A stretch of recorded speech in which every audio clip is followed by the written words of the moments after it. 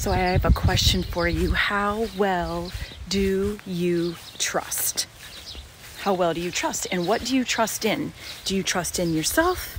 Do you trust in things? Do you trust in people?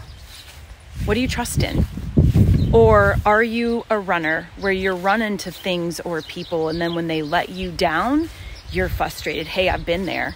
Do you know that in Proverbs 3 5 through 6, it says, Trust in the Lord with all your heart and do not lean on your own understanding. Acknowledge him in all your ways, and he will make your path straight. So, are you trusting in the things that are around you, in the world, people, your finances, your job, friends, family, colleagues, puppies?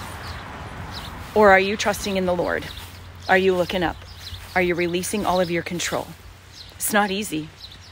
Walk it out one step at a time.